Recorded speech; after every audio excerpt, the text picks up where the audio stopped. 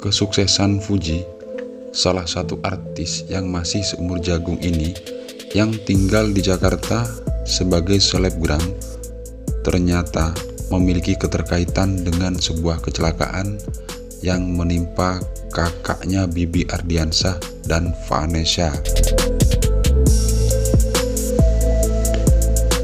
Sebelum lanjut dalam pembahasan video ini, alangkah baiknya jika kalian like, share, dan komen karena subscribe Anda sangat membantu untuk melunasi hutang-hutang kami. Kisah dimulai ketika Vanessa, seorang artis yang terkenal dengan semboyannya 80 juta itu mengalami kecelakaan parah saat sedang mau ke Surabaya.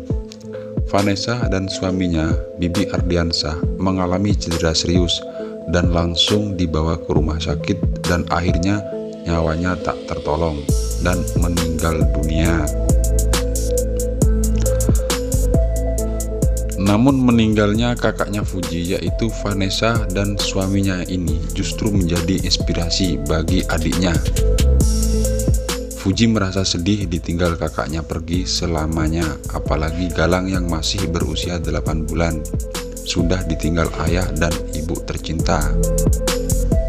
Dan dia bertekad untuk mengurus keponakannya yang bernama Galang sebagai pengganti ibundanya.